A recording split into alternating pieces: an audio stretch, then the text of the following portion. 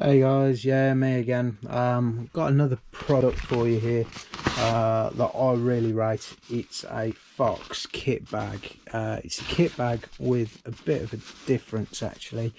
Um, I'm actually holding a GoPro at the moment, so apologies. This might not be the best video in the world. It's got a couple of um, drawstrings here, so you can you can bring it almost to a close um, it's got room for all your dirty kit. I'll just show you what I've got in there. I've got some pads pair of shorts uh, gilet uh, pair of trail pants uh, a padded gilet and a pretty big coat. Um, so all of that has, has, has quite comfortable. Now the beauty of this bag is now I've also got a couple of pairs of socks and some other bits in there. The beauty of this is this bag is oh you can see that but the bag actually has got an insert within it. Um, it's fully waterproof, sort of both sides. Um, Fox logo there.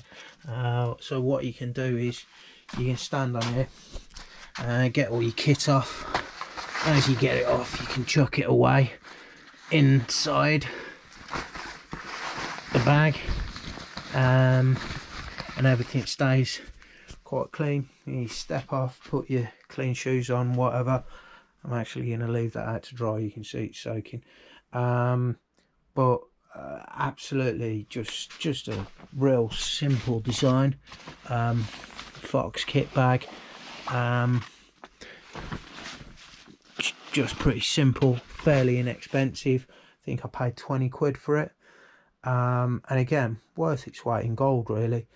The other thing you could do, I mean, you could actually use this as a beach bag. It would be a pretty cool, you know, for your towels and what have you. Um, go to the beach, you've got something to sit on. Um, it's almost like a little picnic blanket in that respect as well. Um, but you know I tend to use it in muddy car parks and and dirty trails out the back of the car uh, just to you know help keep your the clothes that you're changing into as clean as you can uh, you know what it's like you you, you're hopping around on one uh, one leg putting your socks on and what have you. Uh, invariably you drop a sock and tread on it and then you've got mud all on your clean foot and what have you and it just stops a lot of faffing.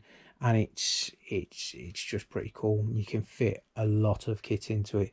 So yeah um i hope you enjoyed the the little uh the little vid there i'll probably give this a, a 10 out of 10 for functionality it just works it's brilliant don't have any problems with it uh, I can fit all my gear in there. I purposely don't put my shoes in there just because they they are so muddy.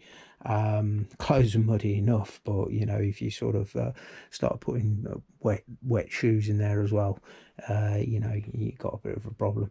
But yeah, I, I really like it. I, would recommend it. Um, give us a thumbs up, guys. Um, see you soon.